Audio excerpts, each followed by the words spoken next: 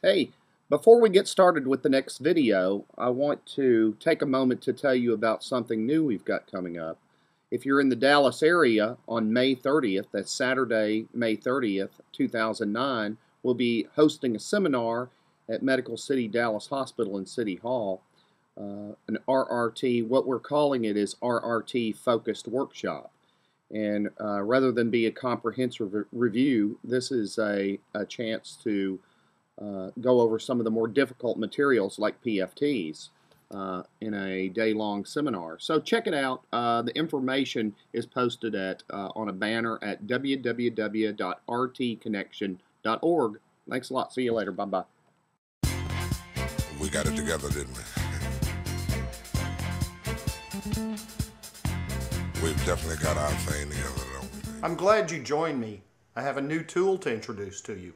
It's called Vent Simulator for the Not Yet Smart. The dummies term was taken.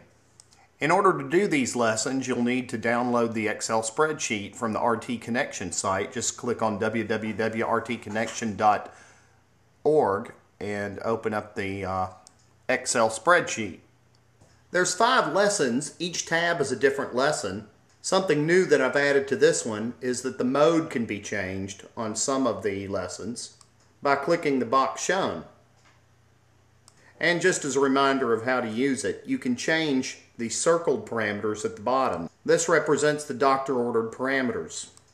To the right of the monitored parameters, you can see the blood gas, which represents the blood gas for the patient. On the settings, the upper half of the screen shows the monitored parameters.